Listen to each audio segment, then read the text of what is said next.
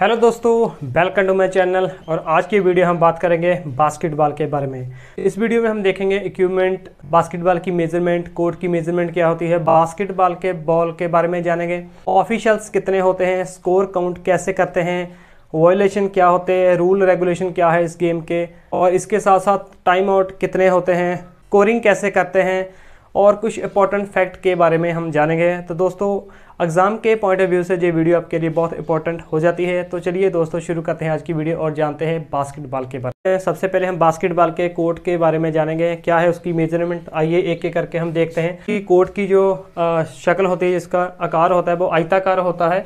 इसकी जो लंबाई होती है कोर्ट की वो होती है ढाई मीटर और जो इसकी चौड़ाई होती है, वो होती है पंद्रह मीटर। लंबाई होती है ढाई मीटर, चौड़ाई होती है पंद्रह मीटर और इसका जो डायगनल होता है, वो होता है thirty one point seventy six meter. इस लाइन को दोस्तों हम साइड लाइन कहते हैं और इस लाइन को हम कहते हैं एंड लाइन। और जितनी भी इसकी जो मेज़रमेंट होती है, वो फाइव सेंटीमीटर की लाइन से होती है।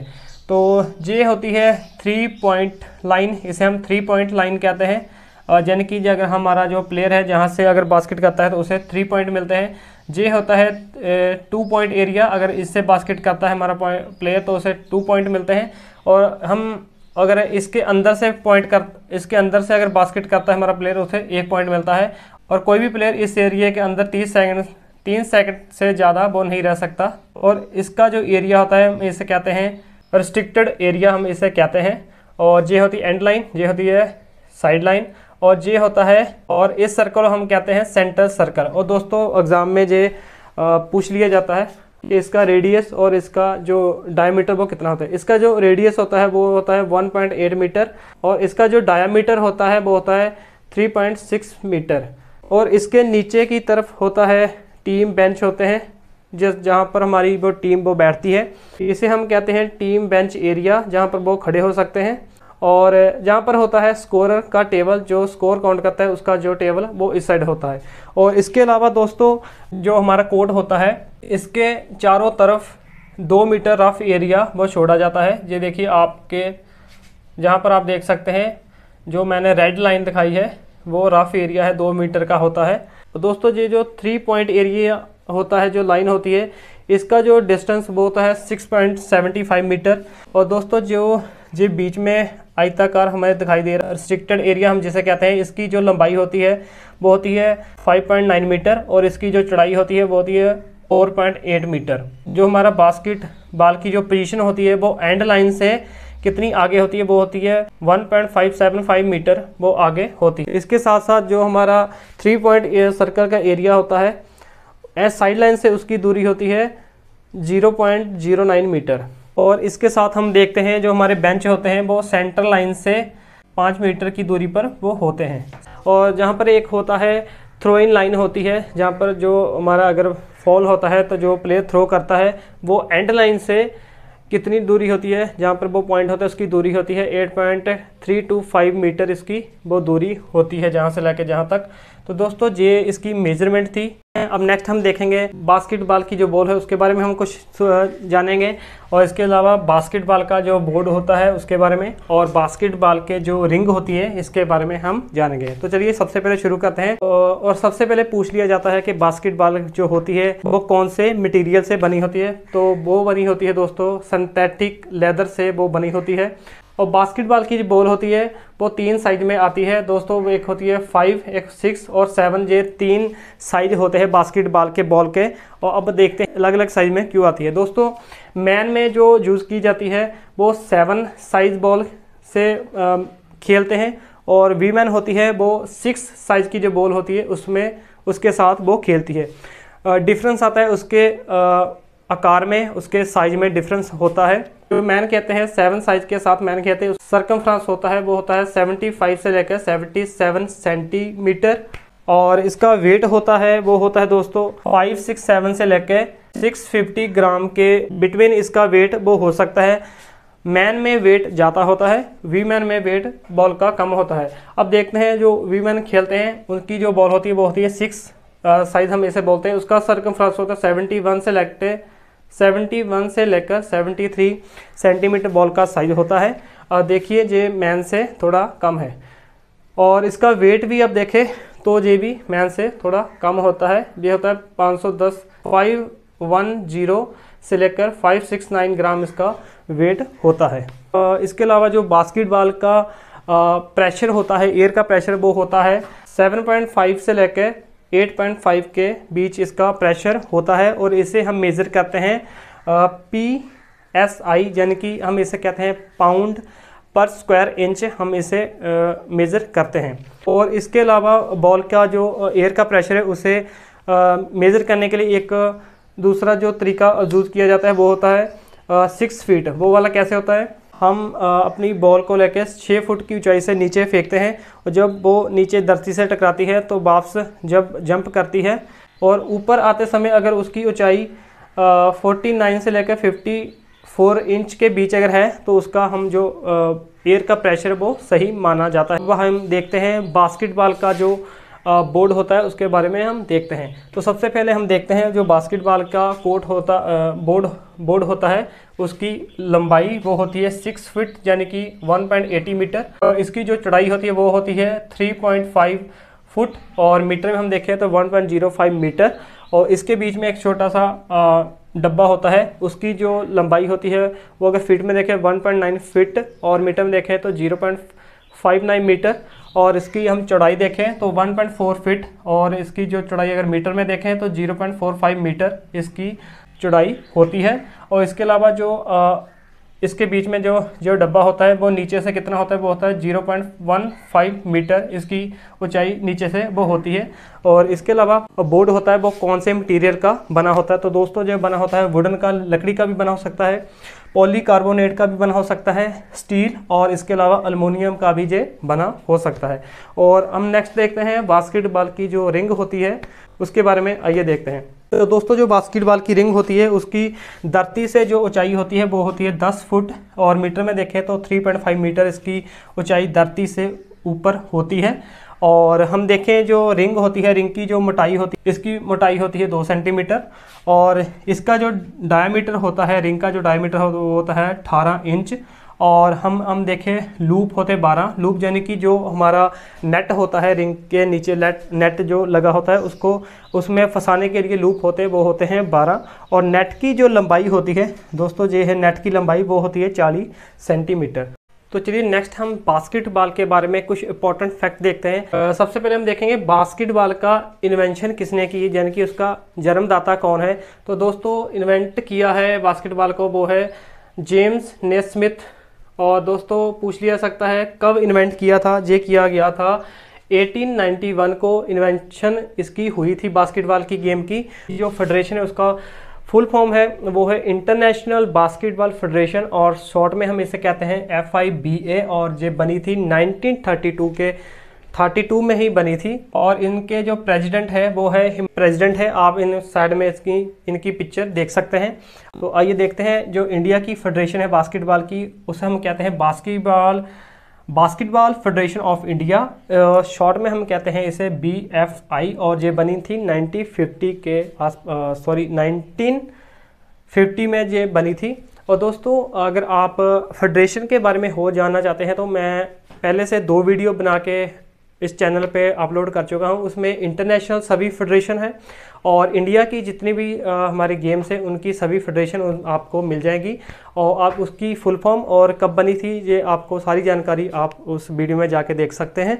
और नेक्स्ट हम देखते हैं तो जो इंडिया की फेडरेशन है इसका जो हेडक्वार्टर है वो है न्यू दिल्ली में। और इसका जो प्रेजिडेंट है प्रेजिडेंट है इनके है वो है इनके प्रेजिडेंट है। और नेक्स्ट हम देखते हैं पूछ सकते हैं कि बास्केटबॉल को ओलंपिक में कब शामिल किया गया था। तो हम नेक्स्ट देखते हैं दोस्तों, बास्केटबॉल में ओलंपिक में मैन को अलग और वीमेन को अलग शामिल किया गया था। सबसे पहले देखते हैं मैन को। मैन को नाइनटीन थर्टी सिक्स में शामिल किया गया था और वीमेन को नाइनटीन सेवेंटी सिक्स में शामिल किया गया था। तो एशिया में किया गया था नाइनटीन फिफ्टी वन को। सबसे पहले जो इंडिया का बास्केटबॉल में अर्जुन अवार्ड किन्हें मिला था? वो मिला था सरजीत सिंह को।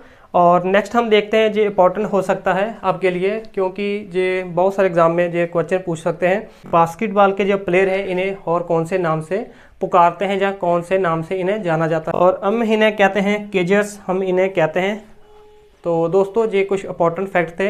अगर आपको वीडियो अच्छी लग रही है, कुछ नया सीखने को मिल रहा है तो प्लीज़ लाइक शेयर करें और चैनल को सब्सक्राइब कर लें। तो आइए, चलिए नेक्स्ट देखते हैं।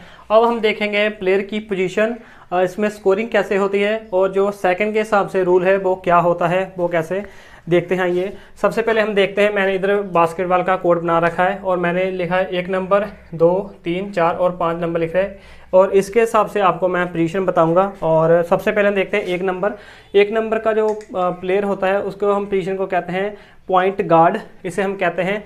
और सेकंड जो होता है, हम कहते हैं शूटिंग गार्ड और दोस्तों, ये प्लेयर सबसे अच्छा शूटर होता है हमारी टीम में। और नेक्स्ट देखते हैं, जो थर्ड होता है, उसे कहते हैं स्मॉल फॉरवर्ड और नेक्स्ट फोर है। फोर देखते हैं पावर फॉरवर्ड और नेक्स्ट है फाइव फाइव में जो प्लेयर होता है जो दोस्तों इसे हम कहते हैं सेंटर और जे प्लेयर टीम में सबसे लंबा प्लेयर होता है। तो हम नेक्स्ट देखते हैं इसकी स्कोरिंग कैसे होती है। सबसे पहले देखें हम तीन पॉइंट दोस्तों ये जो लाइन है इसे हम कहते हैं थर्ड पॉइंट लाइन हम इसे कहते हैं। अगर आ, कोई भी कोई भी प्लेयर अगर इस एरिया से बास्केट करता है और उसकी बास्केट हो जाती है तो उसे तीन पॉइंट मिलते हैं। और इसी तरह अगर जे एरिया के बीच में अगर कोई प्लेयर आन के बास्केट करता है तो उसे टू पॉइंट मिलते हैं। और जे जो एरिया अगर इसके अंदर से अगर कोई बास्केट प्लेयर करता है तो उसे मिलते हैं एक नंबर ऐसे इसके स्कोरिंग काउंट की जाती है। सेकंड के हिसाब से जो रूल होता है, वो क्या होता है?